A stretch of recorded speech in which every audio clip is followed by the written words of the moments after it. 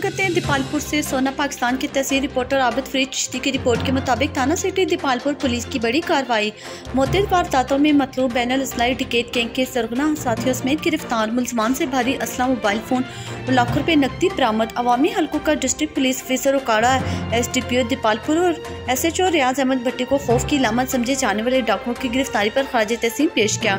डकैती के मुतद वारदातों में मतलूब नसीर उर्फ़ बाबू टिकेट गैंग को शबाना रोज मेहनत के बाद जरगना समेत गिरफ़्तार कर लिया, जिनके कब्जे से असला मोबाइल फ़ोन और लाखों रुपए नकदी बरामद कर लिए गए।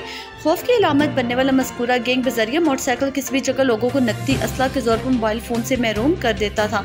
यकीन मस्कूरा गैंग की गिरफ्तारी से वारदातों में नुमाया कमी वाक़ होगी अवामी हल्कों ने district police officer S D P O Depalpur और S H O Riaz Ahmed Bhatti और इनकी टीम को खतरनाक गैंग की गिरफ्तारी पर मुबारकबाद।